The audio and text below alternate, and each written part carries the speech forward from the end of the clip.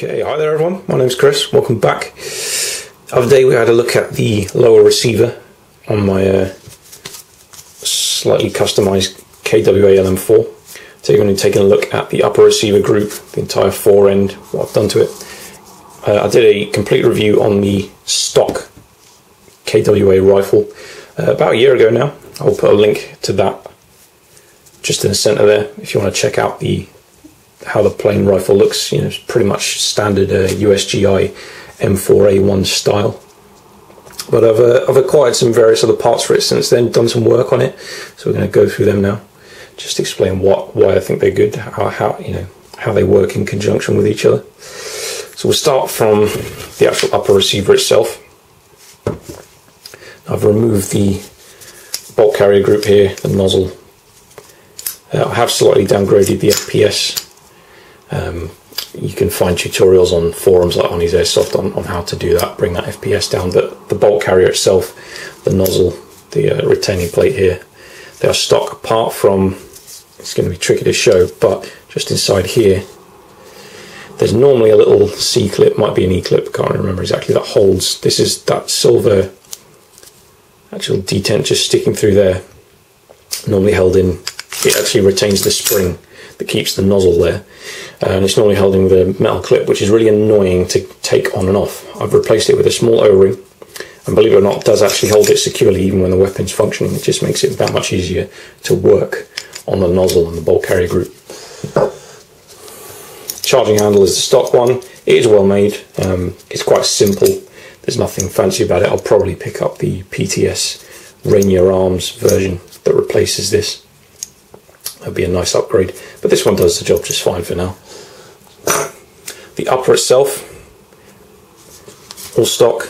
I probably will get in here with some uh, with some wet and dry paper and get rid of a lot of the paint on the inside just to smooth the uh, cycling of the bolt. As you can see, it sort of every time you fire, it kind of wears off a little bit of paint and you create a bit of a nasty residue on the inside. Dust cover, forward assist, stock parts. Um, they just work really well. It's actually, even though it's not all one solid piece, this upper, it's actually been really solid uh, for me. Um, no problems at all with it. Rear sight, Magpul Gen 2 MBUS, nice and lightweight. Does what the, does the job that a backup iron sight needs to do. Optic is the primary arms sort of version of the T1 you know, it's uh, it's it holds up to the recoil of these gas blowback rifles really well. Does a fantastic job of that. American Defense quick detach mount on there. Holds it on very nicely. This one's actually threaded. You can put a uh, a kill flash on there, which is obviously going to protect against BB hits. You've got 11 settings on it. Battery lasts for ages. Zeroed via the uh, adjustment dials underneath these covers. And uh, for considering how cheaply you can pick these up from primary arms um, really a, a, brilliant choice for airsoft. Now one fairly large job I had to do to this upper receiver is to the threads on the front section here. Normally the barrel nut screws on. The actual spec the dimensions of the thread were, were an airsoft sort of um, specification. The actual the pitch the lead all that stuff on the thread would not fit a real AR-15 handguard so uh, I took a, a, uh, a, die nut to that ran it down obviously you know quarter return back it off quarter return all that good stuff using plenty of lubrication. Cut that thread made it to the real steel specification because I wanted to fit this particular handguard. And this is the Midwest Industries SS Gen 2 rail. This is a, if I remember right, this is a 12 inch version. Fit, still got a standard 14 and a half inch barrel there. Just get that little bit of protrusion, really nice length. It's a really lightweight handguard considering it's all uh, it's all metal. it looks cool. It's really, really thin. You can you can grip this um, get that thumb over ball grip really well on this handguard. It works fantastically for that. If you're in the US, these can actually be picked up surprisingly cheaply for considering how well they're made. of all the tubular handguards, which are obviously uh, very much in vogue now, this is definitely one of the best options on the market. For uh, if I'm running a sling on two point mode, Magpul Industries rail sling attachment, very very simple. Really, uh, you know, obviously you can hang the weight of the gun on it without uh, any worries at all. Just does its job. It's the Haley Strategic light mount. I can't remember if this is the Thorntail or the Dropwing. I can never quite remember, but um, the actual th screws that come with it are the same spec as these holes that you see in the Midwest handguard. So I've got one going into the actual threaded hole in the handguard, and then one has a retaining plate on the inside, just holding the light mount on. We've got a Surefire M600C.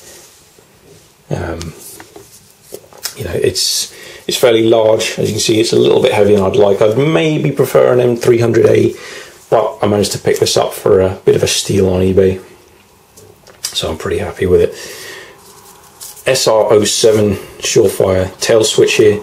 You got temporary on with this part and then you press this button if you're just sort of uh, maybe using it as a navigation aid or just to highlight something and you want it and you want to leave your light on without having to constantly press the button you've got that switch and as I say the momentary on the front when you're actually holding the rifle like so, it works uh, works really well. Your thumb just sits straight on there, but you're not. You can actually crimp your hand really tightly onto there, and it won't discharge the light until you specifically move your thumb into the position to press that switch, which is obviously nice. Outer barrel and inner barrel, both stock, same as the uh, the hop unit. They do a nice job. PTS battle comp brake. I think this is the 1.5. I'm never quite sure if it's classed as a uh, as a brake or a flash hider or what, but I just you know it just looks cool. Doesn't do anything in airsoft. Just looks nice. Looks a, certainly looks a lot cooler than the, the standard USGI flash hider I find. Front backup iron sight again to match with the rear. Gen 2 MBUS. Nice and light, easy to deploy, easy to uh, retract. Again, it just really does the job that you want a, a rear Buist to, uh, to fulfill for you. So that is uh, everything, I think. The, the, actual gun in this setup, I find it, it works really nicely for me, the way I like to actually shoot a rifle. Um, very very nice setup. Really, it's the the Midwest handguard in particular is just uh, really just fantastic. I think there's a slight step you can just about make it out between the rail on the upper and that 12 o'clock rail on the Midwest, but it's very slight. Uh, once I'd secured it all on there, it, it is uh, there is there is nothing nothing at all moving. Uh, it's torqued down pretty tightly. Everything's Loctited got my little zip ties there, just giving a bit of control to the routing of that Surefire uh, tail switch. Overall, the gun itself really fantastic, and uh, yeah, there we have it, guys. If you like uh, more content like this, want to keep up to date on the uploads on the channel, got a Facebook page which I update pretty much every day. I'll put a link down in the description box.